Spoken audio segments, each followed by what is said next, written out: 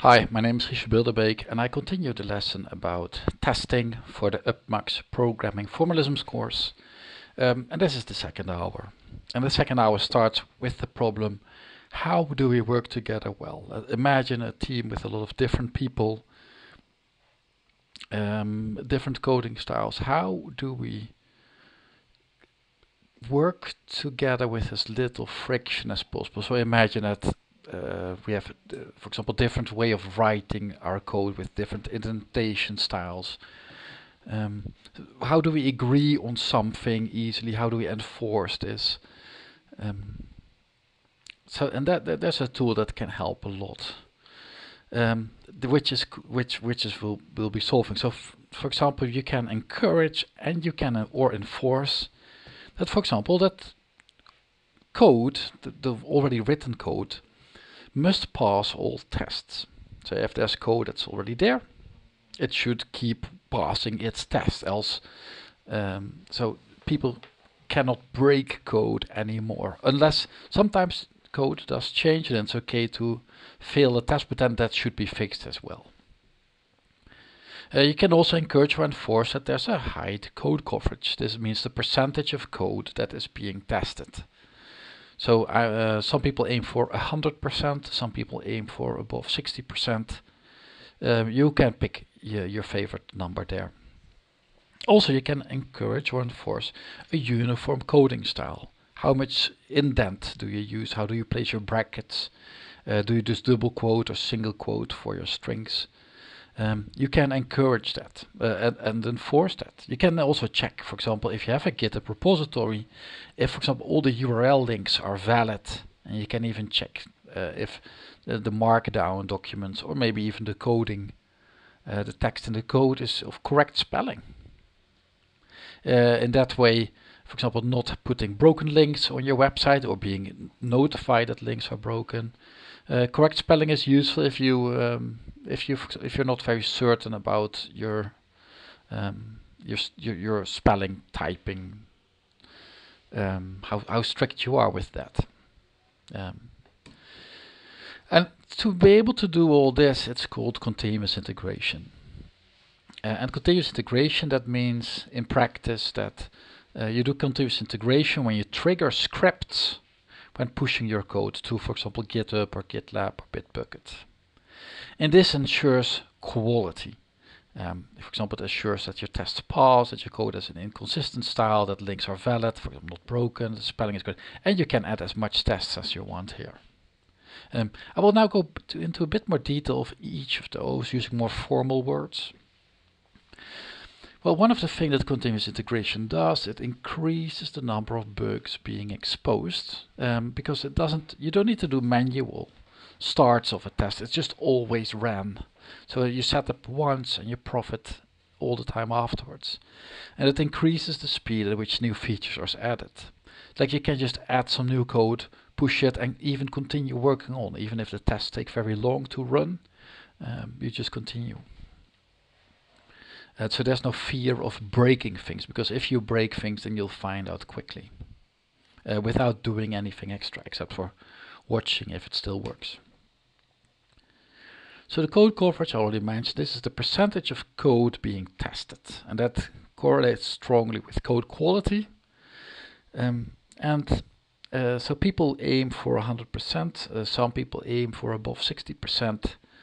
Uh, but there is, for example, this peer review community called rOpenSci. If you do R programming, where you can submit your R packages, um, there they expect 100% code coverage. And also doing this will result in you choosing a different and better software architecture.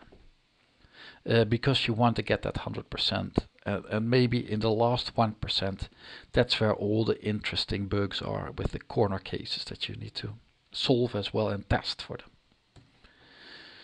Your coding style is when you follow a, a, consistent way of writing down your code. And we know this improves software quality. And in Python, PEP 8 is a paper that uh, is a style guide for Python code. And this can be enforced by tools. In R, we have the tidyverse, which can be enforced by tools as well. And part of this coding style can even be the cyclomatic complexity. I know some programs that test for style, they also check for cyclomatic complexity. Uh, and cyclomatic complexity is the complexity of the function. And in practice this means, and to be a bit more precise, it means how many way the computer can go through the code. Like if there's an if statement, well it can go in the if statement or not. If there are an if statement, uh, two if statements after each other, then it can go into the first one yes or no, and then the second one yes or no. And uh, that's already a complexity of four. Um, and, and those you want to limit that complexity. Um, I know, for example, in R there's a cyclomatic complexity maximum of 10. Um, and that's reasonable to ask of a function. You need you are forced to split up your functions to ensure that the complexity is low, and that leads to um, a better code because the and and because that leads to simpler code that is less complex and easier to debug. And we know that more complex code is, the more bugs there will be in it, which is completely no surprise.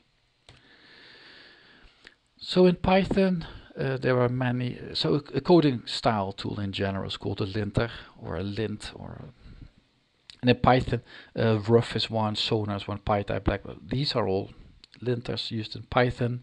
In R you have lintr, for example. In C++ you have uh, OCLint, OCDLint. Well, there are plenty of tools out there.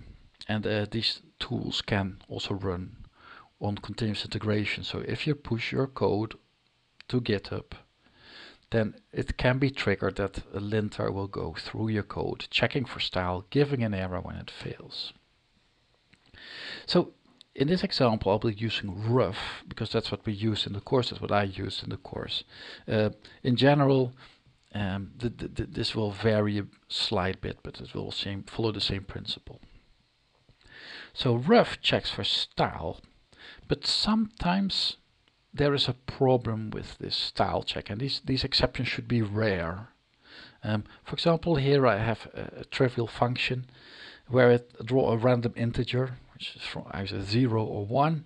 And let's say it's some example code or some simple testing code. Then ruff will give an accept exception. It, it will give it will give an error. It will complain because this is not cryptographically safe. And if you use if, if this is very important code, if you want to be cryptographically safe, then you should never use randint. But in this case, uh, this is very simple code. Let's say I'm just this is even maybe part of a test, then you can disable ruff complaining by using hashtags to start the comment, noqa colon, and then the ruff error message. It, it will give you that error, S311. And you can look it up, you can easily Google it. If you do that, you will need to defend this in a code review because you should prevent, you should avoid disabling those tests. But sometimes the, the, the noise a linter gives is not worth the trouble of fixing it all the time. So that's why you, you and your team need to find out where that balance is. But in general, um, the less, the more strict you are, the, the, the cleaner your code will be. When aiming for 100% code coverage, and uh, so that means that all your functions are tested. How do you test this function? So it's a function that just prints hello world. Well, you can test, for example, by calling it and then, for example, nothing should happen. That gives you 100% code coverage. But nothing will prevent me from writing uh, a different text here because that can't be checked. At least it can't be checked by Python or maybe it can be checked by Python if you read the console output and check for the word being hello world or maybe using a bash script or a shell script um, to call this function, save it to a file, load the file, check the file for text. Um, in general, you should just never write untestable functions. You should be able to test this function. Um, and for example, what is special about this function is that the word print, that's a built-in function, so we don't need to test this. Um, the string hello world is what makes it unique. So we're just gonna isolate um, the special thing about this function, which is the, the string hello world. and then we can just assert that what comes out of this is equal hello world. And from that moment on we can be sure that when we call the function get hello text um, it returns the text hello world because we can put that in. One problem when testing for a hundred uh, with for code coverage of 100% is testing indeterministic functions. So those are functions that do not always return the same values. Um, for example, so those are functions that uh, sometimes have, for example, randomness in them. So here's a clear function. It calls it's, co it's called. It produces a random boolean. That's exactly what it does. It draws a random integer number from 0 to and including 1. So that means either 0 or 1. And if that 0 or 1 is bigger than 0, then uh, return true. Let's go, let's go back where I was. There it is. How do you test these? Well, this is a bit of a problem, but I'll uh, um, I'll show here um, that, that, that, that, we need to know something about um, how random numbers are generated. And this slide I skip for now. Uh, we need to know about randomness. So computers cannot draw random numbers. Uh, they can't. They're they're very precise. So what for drawing a random number, there's some kind of algorithm being ran that produces a, a sequence of numbers that is, has the same properties as a random sequence of numbers. But computers can reproduce those sequences exactly because they they they they, they calculate it themselves. And to start to, to be able to produce the same random number generator sequence, you do what is called you set a seed. So when I do random dot set 5, seed 5, it means set the random number generator seed to 5 and then um, flip coin will be true. And I've tested this. I have known that I know this code is actually run. Um, so I know that if I call flip coin after having set the seed to 5 then always flip coin will be true. And I can do this over and over again. If you set the seed to a number it will always produce the same sequence of random numbers.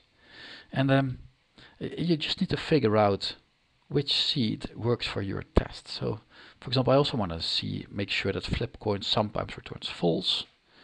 So apparently for me, I need to set a seed of 2. And in that way, I can determine if flip coin indeed sometimes gives a true and sometimes gives a false.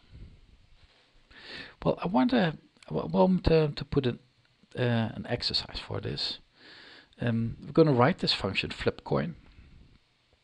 Um, and for that we're going to pair up again. We switch roles every three minutes or after a TDD cycle. Really stick to max three minutes. Discuss how to keep the time first. Uh, for example, every three minutes uh, and after a cycle. The person with a GitHub username that starts first in the alphabet goes first Work on the master branch only of the shared repository. Use git push and git pull to, to, to pass the code between the two, between the driver and navigator. And try to be exemplary in that. And here's the more technical stuff. Create a form of the fork of this repository. Uh, modify the readme to get your own username in. Develop this function flipcoin in these two files. And as a bonus, get all the CI scripts to pass. So there is another exercise after this. It's called um, it's called roll dice, which uh, is a same indeterminate function to roll a dice. You can also do that. It should return a number of 1, 2 and including 6. And try to develop it as exemplary in a team as possible. So I wish you good luck with that and see you after this exercise. Hey